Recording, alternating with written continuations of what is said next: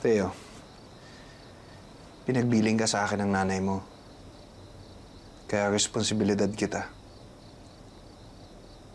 Willing naman ako tumulong sa mga problema mo. Kaya lang, pa- paano ko naman malalaman? Paano ako makakatulong kung hindi ka nagsasabi ng problema? Ano ba talaga nangyari sa'yo sa school?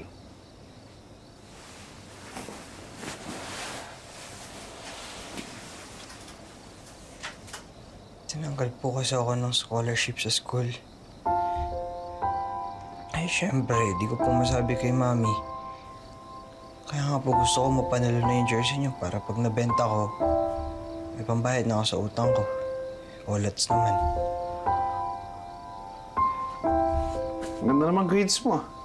Ba't ka natanggal? Eh, varsity scholarship po yun. Nag-quit ako.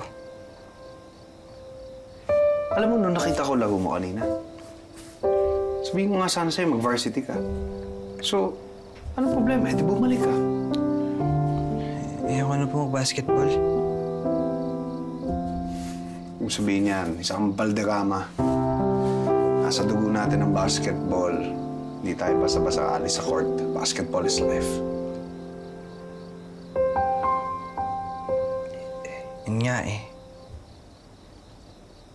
Kayang maiwan yung court.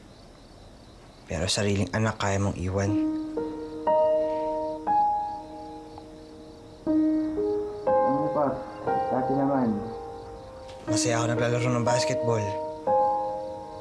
Yun, sabi ni Mami, yung tatay ko raw, basketball player. Wala na akong kano maglaro. Katulad ng galit ng iniwan niyo ko.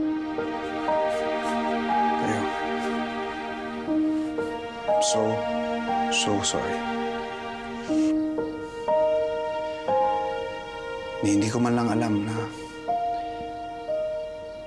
Hindi ko man lang na-realize na nakakasakit pala ako ng tao dahil sa maling, maling mga desisyon sa buhay ko.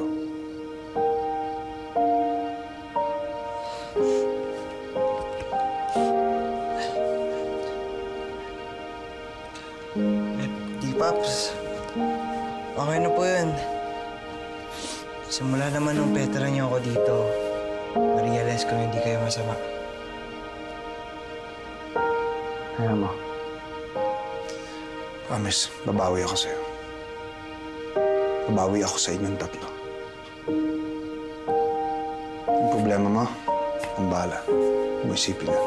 Ayusin ko yan.